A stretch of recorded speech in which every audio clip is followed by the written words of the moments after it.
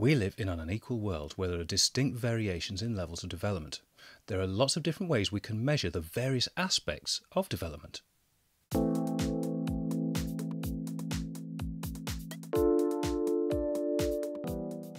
Development is all about making things better through change and helping to improve the standard of living and the quality of life for people.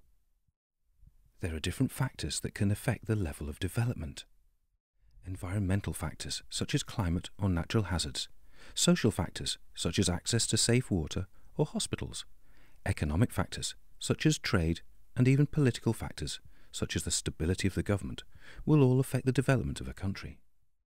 The development gap indicates the difference between rich countries and poor countries. So, what can we use to measure different aspects of development? The gross national income, or GNI, looks at the total value of goods and services produced by a country, along with paid to or coming from other countries. It is a common measure used across the world and is usually expressed as per capita of the population. The World Bank divides the world into four levels of income high, higher middle, low middle, and low income countries. Living in a high income or low income country doesn't always indicate a good or bad quality of life or standard of living.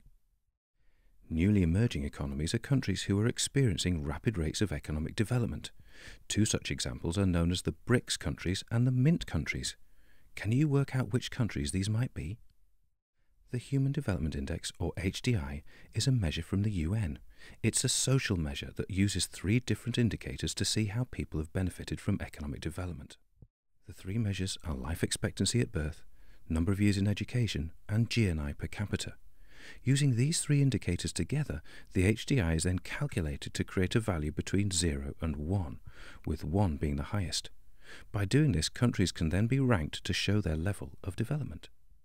There is a difference, though, between standard of living and quality of life. Standard of living can be measured through social and economic indicators, whereas quality of life can be very different in different countries. A good quality of life might mean that women have equal rights, that people feel secure, that there are free and fair elections. How happy people are within their country is about their quality of life. Development is a never ending process that has benefited some countries more than others.